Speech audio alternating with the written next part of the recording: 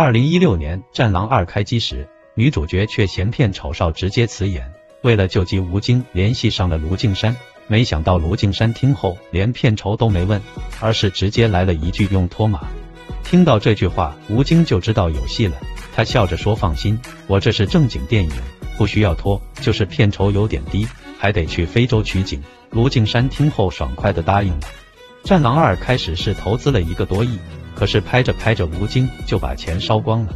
大家都知道，《战狼二》里什么飞机、大炮、坦克，每天还有几百号人吃盒饭，样样都得花钱，所以这个费用远远不够。后来妻子谢楠直接抵押了房子，这才筹到了六千万追加投资。其实《战狼》中张翰的角色原定人选也另有其人。原来《战狼二》里卓一凡的原定演员并不是张翰，而是王思聪。《战狼二》里有一个富二代公子哥的角色。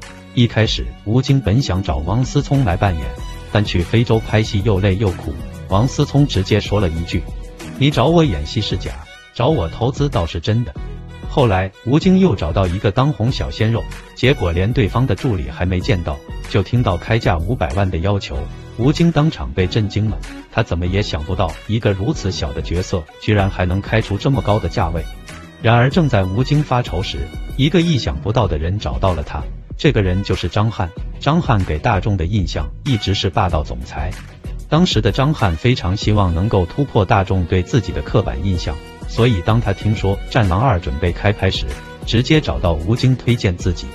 其实，吴京起初对他并不看好，对他的刻板印象就是小鲜肉吃不了苦。